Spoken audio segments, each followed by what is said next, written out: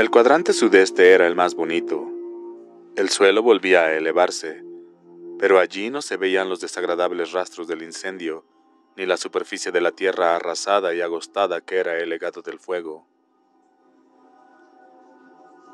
A ambos lados de Griffin Road, la tierra era propiedad de Charles Griffin, dueño de la granja lechera más importante al sur de Mechanic Falls. Y desde Schoolyard Hill se alcanzaba a ver el enorme establo de Griffin, con su tejado de aluminio que resplandecía al sol como un heliógrafo monstruoso. En la zona había otras granjas y muchas casas en las que vivían empleados administrativos y de oficinas que todos los días viajaban en tren a Portland o a Lewiston. A veces, en el otoño, uno podía detenerse en lo más alto de Schoolyard Hill para aspirar la aromática fragancia de los campos al quemarse y distinguir como un juguete el camión de los bomberos voluntarios de Salem Slot, pronto a intervenir si alguna de las fogatas amenazaba con descontrolarse. El pueblo había aprendido la lección de 1951. La parte del sudoeste era la que habían empezado a ocupar los remolques y cazarrodantes, formando algo parecido a un cinturón de asteroides extraurbano. Con ellos habían aparecido también sus huellas características, montones de coches desechados, neumáticos colgados de cuerdas deshilachadas, latas de cerveza vacías que brillaban junto al camino, andrajos lavados y puestos a secar en cuerdas tendidas entre postes improvisados. El denso olor de cañerías conectadas con cuartos de baño instalados a la ligera. Las casas de Bend eran muy parecidas a chabolas, pero en casi todas ellas se elevaba una resplandeciente antena de televisión. La mayoría eran receptores en color comprados a crédito en Grants o en Sears. El patio de cada uno de los remolques estaba por lo general repleto de chiquillos, juguetes, trineos, patines y motocicletas. En algunos casos las caravanas estaban bien cuidadas, pero en la mayoría parecía que sus dueños pensaran que la prolijidad fuera demasiada molestia. La maleza y el pasto crecían hasta la altura de la rodilla Cerca del límite del pueblo, donde Brook Street empezaba a llamarse Brook Road, estaba la posada de Dell.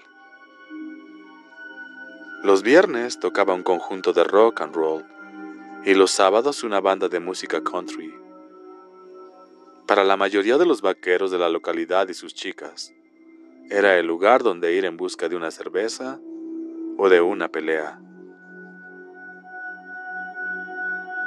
La mayor parte de las líneas telefónicas eran compartidas entre dos, cuatro o seis abonados, de manera que la gente tenía siempre de qué hablar.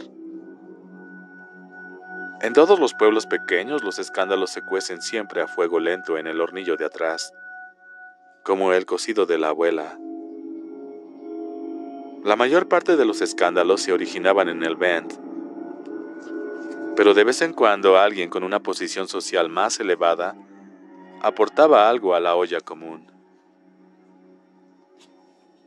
El pueblo se gobernaba por asamblea popular, y aunque desde 1965 se hablaba de elegir un consejo municipal que se reuniera dos veces al año para estudiar el presupuesto,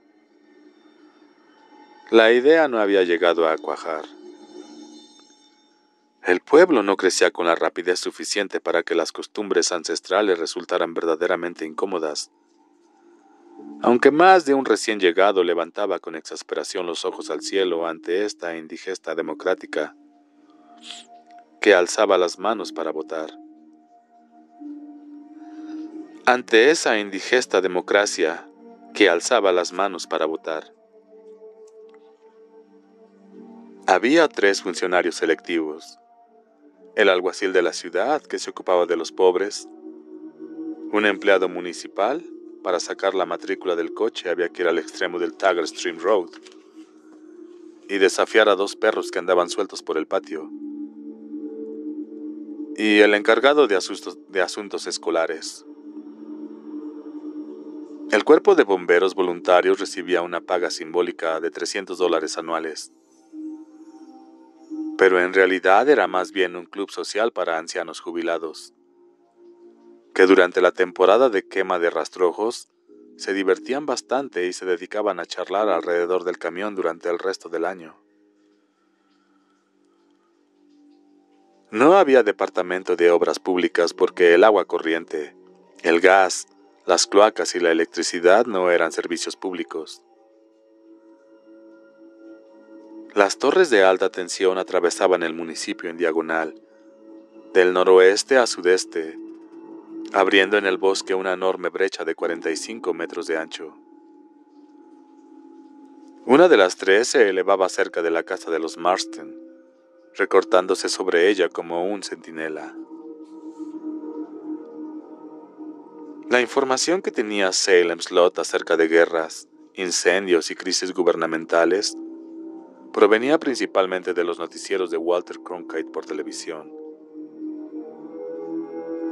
Aunque claro, todo el mundo sabía que el muchacho de los Potter lo habían matado en Vietnam y que el hijo de Claude Bowie, después de pisar una mina, había vuelto con un pie de metal, pero le habían dado un trabajo como ayudante de Kenny Downless en la oficina de correos.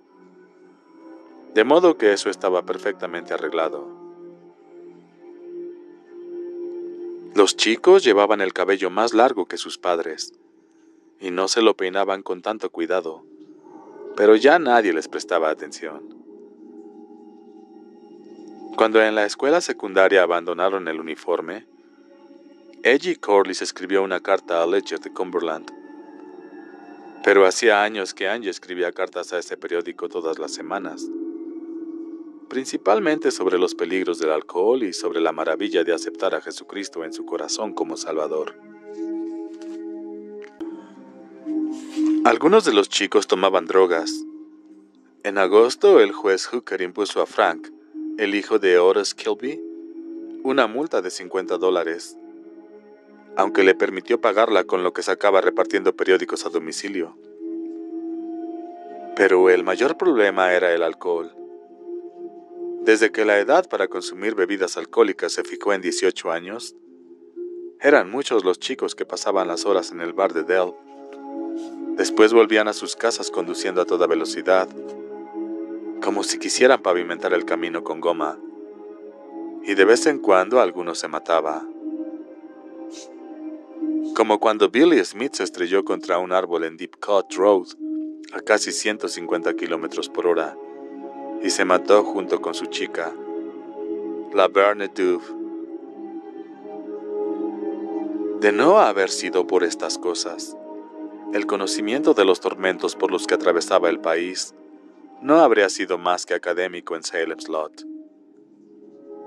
Allí el tiempo transcurría de forma diferente en un pueblecito tan simpático, no podía suceder nada demasiado malo.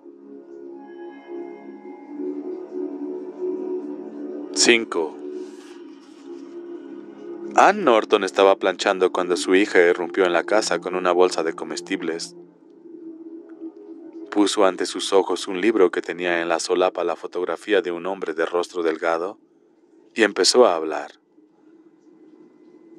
Espera un momento, le dijo Anne. Baja el volumen del televisor y cuéntame. Susan estranguló la voz de Art Fleming, que desparramaba miles de dólares desde su programa, y le contó a su madre que había conocido a Ben Mears. La señora Norton tuvo cuidado de hacer pausados gestos de asentimiento y simpatía a medida que se desarrollaba el relato. Pese a las luces amarillas de advertencia que se encendían en su cabeza, siempre que Susan hablaba de un muchacho nuevo o un hombre, en realidad se le había se le hacía difícil pensar que Susy ya tenía la edad suficiente para que fueran hombres. Pero las luces de hoy eran un poco más intensas. Parece interesante, comentó mientras ponía sobre la tabla de planchar otra de las camisas de su marido. Estuvo realmente simpático, afirmó Susan. Muy natural. ¡Ay, mis pies! se quejó la señora Norton. Dejó la plancha en el portaplancha, donde silbó ominosamente, y se acomodó en la mecedora situada junto a la amplia ventana. Tomó un Parliament del paquete que estaba sobre la mesita de café y lo encendió. ¿Estás segura de que es un muchacho serio, Susie? Susan sonrió un poco a la defensiva. Claro que estoy segura. Tiene el aspecto, no sé, de un profesor universitario o algo así. Dicen que el bombero loco tenía aspecto de jardinero, evocó reflexivamente su madre. Bosta de ciervo, respondió alegremente Susan. Era una expresión que siempre irritaba a su madre. Déjame ver el libro. Ann tendió una mano para, para tomarlo. Mientras se lo daba, Susan recordó repentinamente la escena de la violación homosexual en la prisión. Danza aérea dijo con aire meditabundo a Norton, y empezó a pasar distraídamente las páginas. Susan esperaba resignada. Su madre lo encontraría, como siempre. Las ventanas estaban abiertas y una brisa ociosa rizaba las cortinas amarillas de la cocina, que su madre insistía en llamar despensa, como si vivieran en medio de las comodidades de la clase alta. Era una hermosa casa, maciza, de ladrillo, un poco difícil de calentar en invierno, pero fresca como una gruta durante el verano. Estaba situada en una ligera elevación al término de Brook Street, y desde la ventana frente a la cual estaba sentada la señora Norton, se podía ver todo el pueblo, el panorama no solo era agradable, sino incluso espectacular en invierno. Con el paisaje amplio y brillante de la nieve inmaculada y de los edificios desdibujados por la distancia, que arrojaba a los campos nevados largas sombras amarillas. Me parece que leí un comentario sobre el libro en el periódico de Portland. No era muy bueno. Pues a mí me gusta, anunció Susan con firmeza. Y me gusta él. Es posible que a Floyd también le guste, comentó la señora Norton. Deberías presentarles. Susan sintió una verdadera punzada de cólera que la consternó. Creía que ella y su madre habían dejado atrás las últimas tormentas de la adolescencia y sus secuelas, pero estaba equivocada. Las dos reanudaron la vieja discusión en la que la identidad de Susan debía luchar contra la experiencia y las creencias de su madre. Ya hemos hablado de Floyd, mamá, y tú sabes que eso no era nada serio. El periódico también decía que había unas escenas bastante espeluznantes en la prisión. Cosas entre muchachos. Mamá, por el amor de Dios, Susan tomó uno de los cigarrillos de su madre. No tienes por qué usar el nombre de Dios en vano, señaló la señora Norton imperturbable. Le devolvió el libro y tiró la ceniza del cigarrillo en un cenicero de cerámica que tenía la forma de un pez. Se lo había regalado una de sus amigas de la Asociación de Beneficencia, y a Susan siempre le habían irritado le había irritado sin que pudiera saber exactamente el motivo. Tal vez porque había algo obsceno en eso de echar ceniza en la boca de una perca. Voy a guardar los comestibles, dijo Susan y se levantó. La señora Norton volvió a insistir en voz baja. Solo me refería a que si tú y Floyd Tibbets van a casarse. La irritación aumentó hasta convertirse en la antigua cólera punzante. Pero por Dios, ¿cómo se te ha ocurrido semejante idea? ¿Alguna vez te he dicho que pensaba casarme? Yo suponía. Pues suponías mal, interrumpió Susan con ardor y faltando un poco a la verdad. Hacía ya unas semanas que trataba de desanimar gradualmente a Floyd. Suponía que cuando una sale con el mismo muchacho durante un año y medio, prosiguió suave e implacable su madre, eso debe de significar que las cosas han llegado a un punto en que ya no se limitan a tomarse de las manos. Floyd y yo somos algo más que amigos, confirmó tranquilamente Susan para que su madre sacara la conclusión que quisiera.